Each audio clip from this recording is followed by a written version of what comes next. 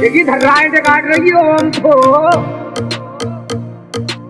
ले भैया ओम को DPS Music Bite presenting a song Mohit Giri.